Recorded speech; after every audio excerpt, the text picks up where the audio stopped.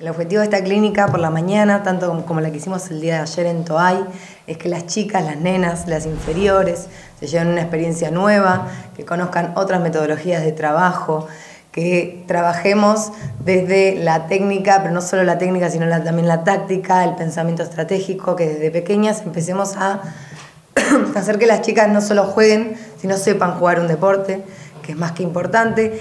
Y bueno, por la tarde, tanto ayer en Santa Rosa como hoy aquí, vamos a dar clínicas para las mayores.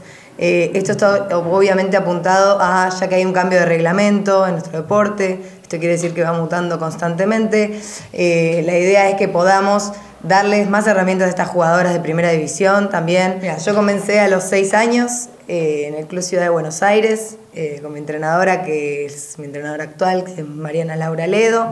Eh, comencé en la categoría escuelita, como todas las niñas comienzan con su profe, amando a su profe más que al deporte y después a través de ella, eh, obviamente llegando al deporte de una manera recontramotivada. Y bueno, eh, en realidad nunca frené desde los 6 años, hoy tengo 26, 20 años jugando al sexto que me sigue dando un montón de cosas, no solo experiencia dentro de la cancha, sino realmente un equipo y un, grupo de amigas para toda la vida. Estamos tratando de llevar a cabo una, difusión dentro de Sudamérica, más allá de lo que es eh, dentro de la Argentina. Sabemos y conocemos que primero tenemos que fortalecerlo acá porque es un deporte argentino y nosotros lo tenemos que tomar como tal. Eh, pero también es muy, muy importante tener la parte sudamericana y la competencia internacional.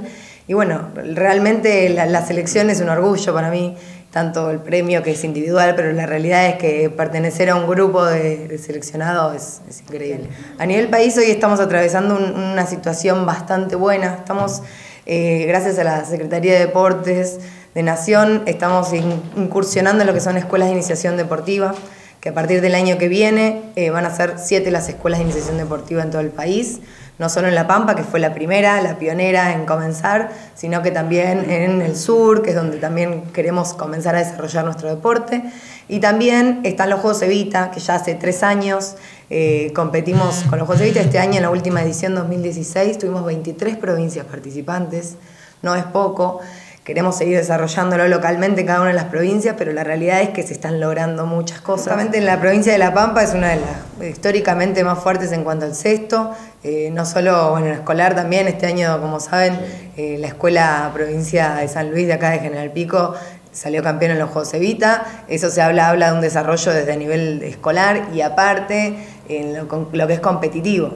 Estas clínicas venimos justamente a profundizar y a fortalecer eh, lo que está trabajando en la provincia de La Pampa. ¿Clínica es esto? ¿O lo de cualquier otro deporte? Bien. No. ¿Qué les suena? ¿Qué les parece?